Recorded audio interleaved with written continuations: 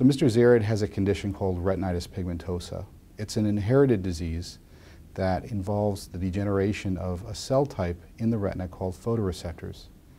These photoreceptors are sort of like the pixels in our eyes. Uh, over the course of time, we lose our, our light-sensitive cells that respond to low light, and so we can become night blind when we have this condition early on.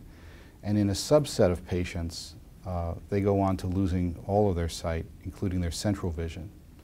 So Mr. Zderad has this condition, and that's exactly what this device was designed to help. The retina in these patients is relatively healthy, uh, except for the photoreceptors. And so what we're trying to do is replace the function of these lost photoreceptors with the retinal prosthesis. There are approximately 1.2 million cells in the retina called the ganglion cells, and they form the optic nerve. Uh, we learned uh, several decades ago that those cells remain relatively viable and healthy. And so the retinal prosthesis communicates with those nerves uh, in, in order to send sight to the brain. It's a very delicate device, and it's an array of electrodes that actually have to lay on a curved surface in the back of the eye where the retina is. So uh, after many years of development and practice, um, I've developed a lot of skill in this area.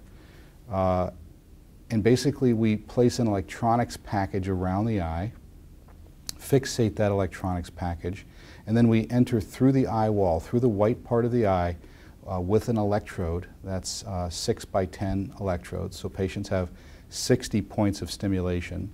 And that electrode lays upon the retina through a cable that we carefully secure, and then we put a patch graft over the uh, incision that allows this device to enter the eye. So there's actually a portion of the device that's outside of the eye and a portion of the device that's inside of the eye on the retinal surface.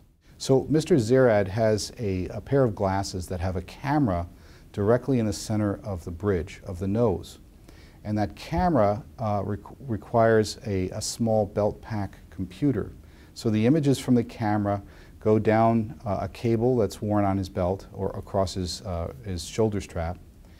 And this computer analyzes the images and then sends them to a transmitter, processed, and the transmitter beams visual information into the implant, which is around the eye, and the implant interprets that and sends series of impulses to the retina which are then interpreted as vision by the brain.